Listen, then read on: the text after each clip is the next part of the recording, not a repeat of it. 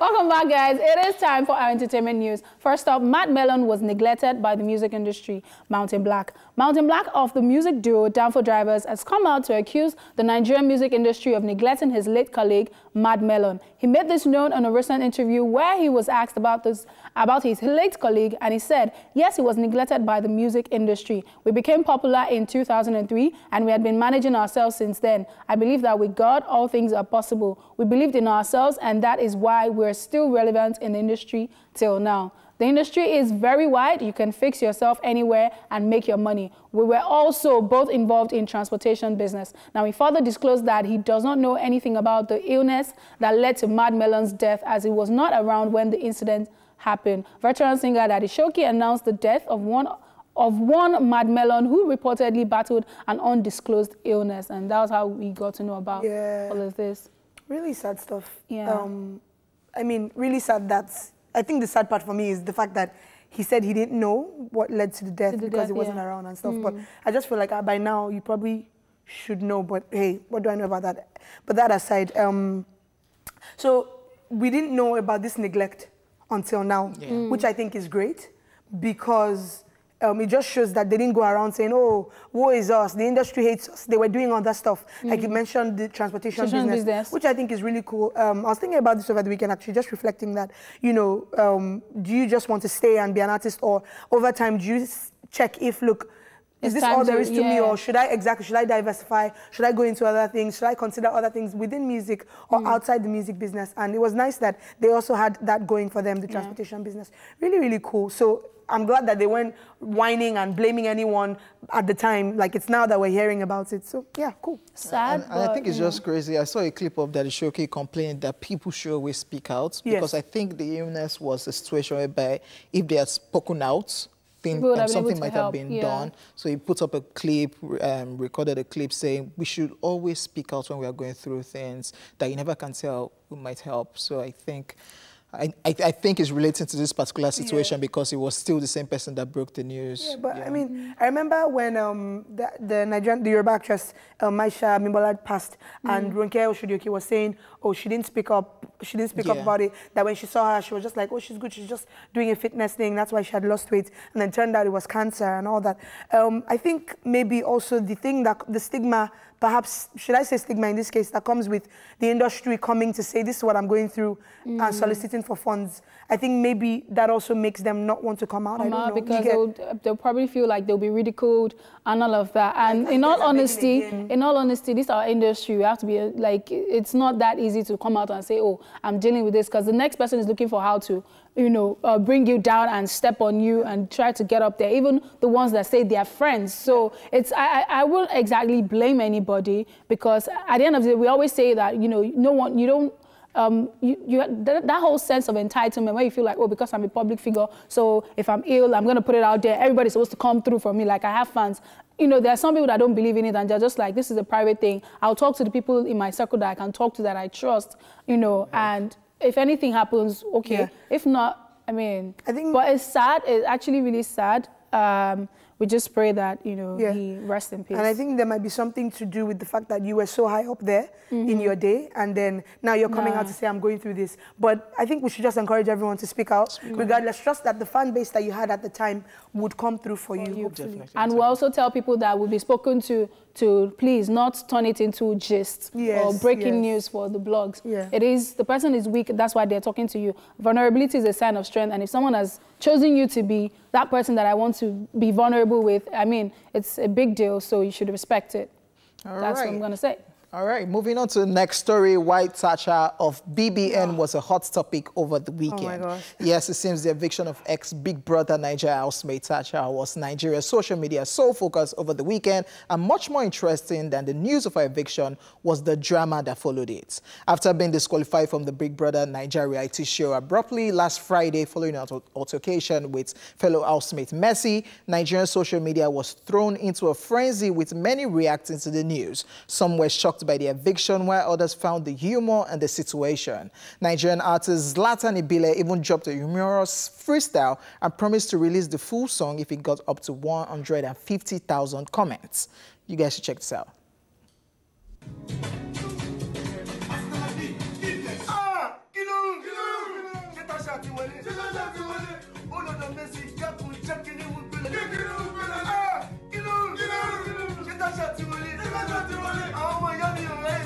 Tacha ti lọ́dọ̀ wọlé. Tacha, you no go keep person. You no go keep person. You no go keep person. You no go keep person. You no go keep person. You no go keep person. You no go keep person. You go keep person. You go keep person. You go keep person. You go keep person. Okay, another side to this was that it sparked a mental health conversation with some insinuating that finding humor in Tacha's alleged body odor is all fun and games until it begins to affect her mental health. Mm -hmm. The drama, however, got complicated when one of Tacha's supporters, Jaruma, alleged that Big Brother had refused to release Tacha to her management despite having evicted her. The news led to the Twitter hashtag, hashtag release Tacha becoming a major trending topic online. Speaking in a live IG video, before yesterday's live show, Big Brother Nigeria host Ebuka Obi Uchendu cleared the air about Tacha's whereabouts. He said, and I quote, I think she's been with her friend and family since yesterday. I think she is fine. So there's no way we're going to talk about all of this without yeah. talking about Tacha because it's still trending. People are still, still talking about yeah, it. People are still talking about this. And so two sides to it. Yeah, three uh, steps, OJ. Yeah. There's so many sides.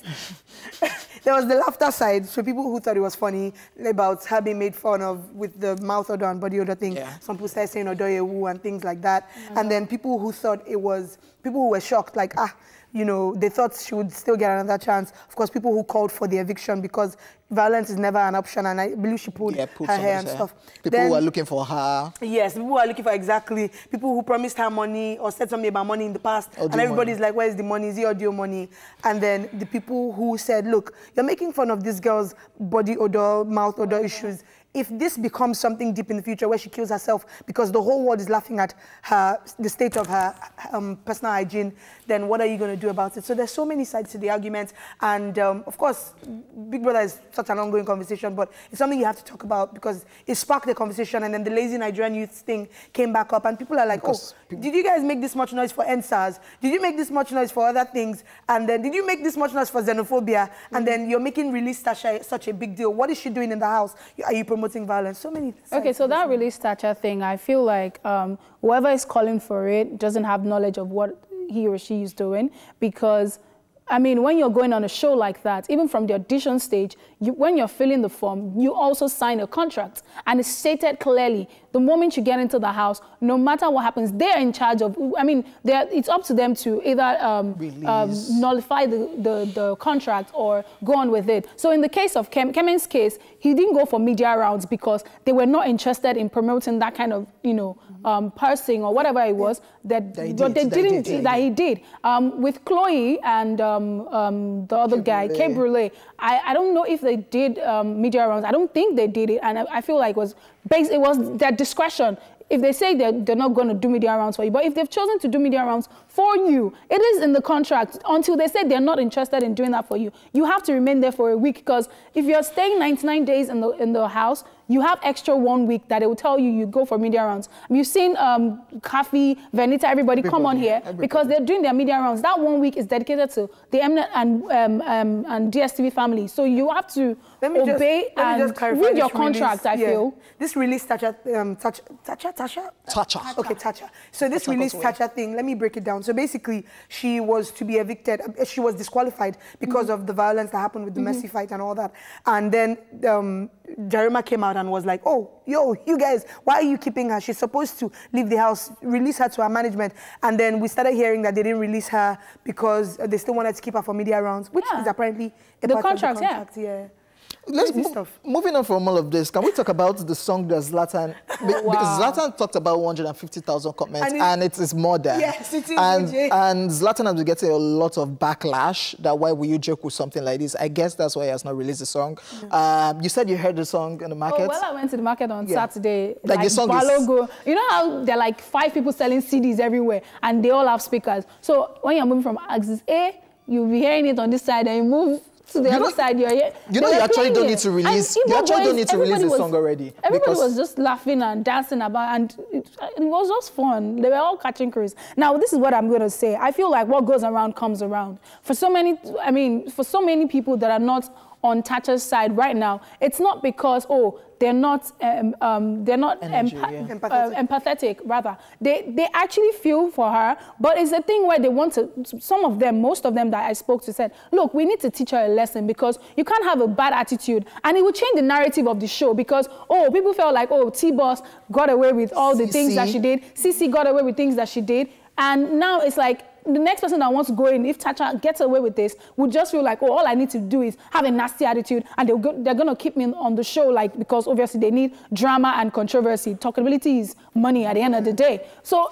I feel like it, it was good for them to have, you know, done what they did. But then some other people felt maybe they, yeah. they should have so, evicted so Mercy as well. And I'm like, no, three times on three different occasions, they cancelled um, Tacha's um, strikes. She had three, two strikes before. They nullified the whole thing. She had another two strikes, nullified it. Then she already had another two strikes. This was the very first time Mercy was getting a strike.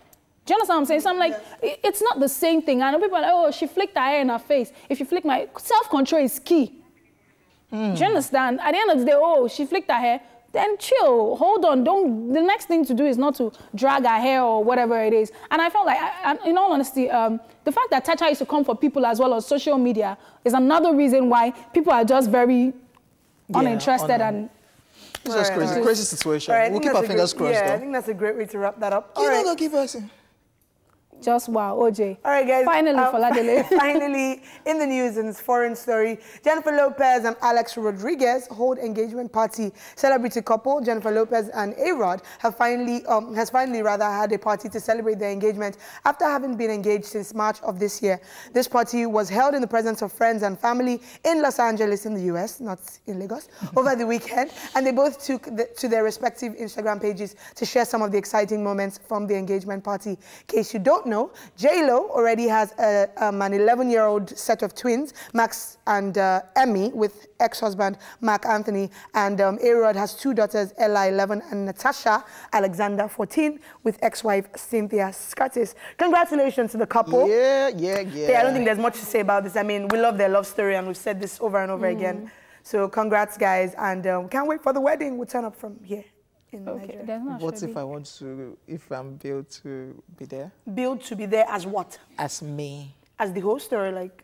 Don't worry, we'll keep our fingers crossed. Oh, Nalayo. The, the fingers will be crossed forever, my G, because OJ is going to be here. Where's J-Lo? God. Oh, God. And she's 50. Yes, yeah, and she's, she's still hot. Ah, still popping. Did you see her walking? We just want to go there and scatter the wedding, but I'm just joking. It can't happen. Oh, wow. So if the pastor say, if you are not in support of this wedding, say, raise your hand.